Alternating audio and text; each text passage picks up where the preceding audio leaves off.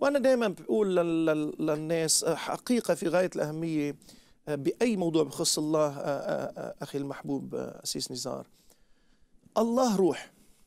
من خارج الزمان والمكان والبيولوجيا والفيزياء كما ندرك فيها الأمور بحواسنا الخمسة. مم.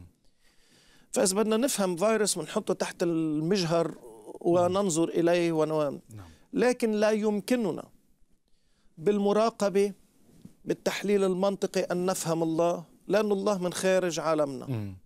كتار من الناس بيقولوا الأمر لا يبدو منطقي ولما تأتي إلى الله هذا لا معنى له لأن المنطق تبعنا يخضع للزمان والمكان والمحسوس والملموس مم. ونستطيع أن ندرك بحواسنا مم. الله من خارج حواسنا لذلك الطريقة الوحيدة لفهم الله ليست الفلسفة والإدراك البشري بل قبول إعلان الله عن ذاته. وبعطي مثل صغير آه، للتوضيح. فرضا آه، ركبنا أنا وياك في طائرة وذهبنا ونزلنا إلى أحد آه، القبائل في أدغال ومجاهل أفريقيا أو البرازيل أو غيره. وبيطلعوا فينا بيقولوا لنا أنتم تبدو غريبين علينا. كيف أتيتم إلى هنا؟ نقول لهم في الطائرة. طائرة. أخي هو يشبه النسر كبير فارغ من داخله نجلس فيه. مم. أي نسر بمفهوم هم كبير بها وكيف تجلس في بطن النسر؟ فبالآخر نحن نحاول بكلماتهم وتعابيرهم صح. أن نشرح لهم شيء من خارج عالمهم مع أننا بشر وهم بشر ونشرح المادة بالمادة. كم بالحري لو أتى الله إلى الإنسان من خارج خارج عالمنا ويريد أن يشرح لنا من هو وما هو الطريقة الوحيدة هي أن نقبل إعلانه وأن نؤمن بما يقوله ولا أن نخضع لفكرنا نقول له بما أنه فكرنا صغير لا يستطيع أن أن يستوعب يستوعب ويدركك فإذا نحن صح أنت غلط.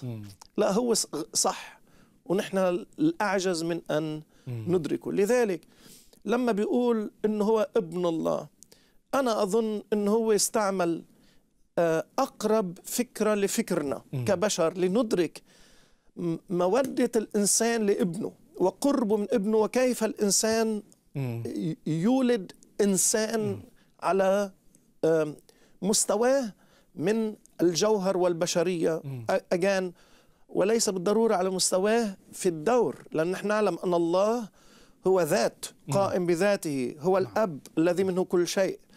والمسيح هو ابن الله ليس اسم وحيد أو الصفة الوحيدة هو دعي أيضا يهوى هو الله. كلمة الله. ودعي كلمة الله. كلمة الله أيوة لوجوس فكر الله. هو ذات وهو فكر. والله حياة هو روح. وهذه الثلاث ثلاثة شخصيات تكون الله الواحد.